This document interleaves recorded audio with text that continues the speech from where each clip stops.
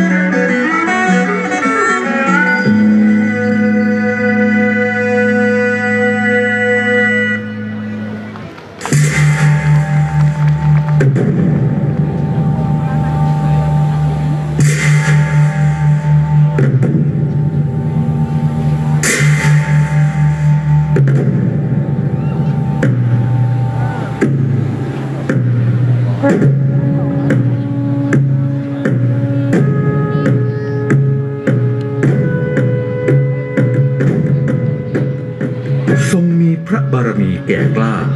แผ่ขยายไปทั่วทุกสารทิศ ด้วยทรงรวบรวมผู้คนต่างๆเข้าด้วยกัน แล้วก่อตั้งเป็นอาณาจักรขนานนามว่า อาณาจักรล้านนาไทย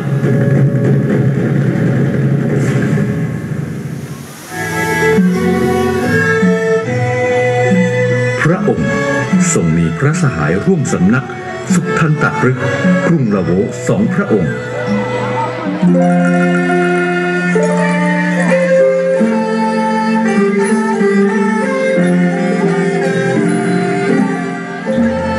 าร่วงกษัตริย์แห่งอาณาจักรสุขโขทัยนครอันรุ่งเรืองด้วยบวรพุทธศาสนา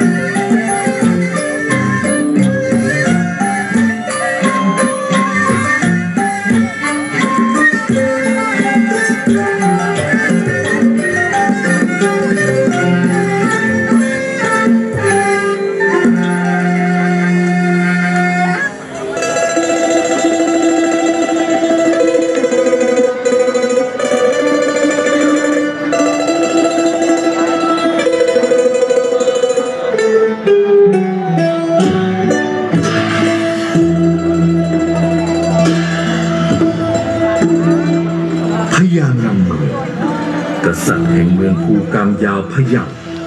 นครแห่งความมั่งคั่ง อุดมสมบูรณ์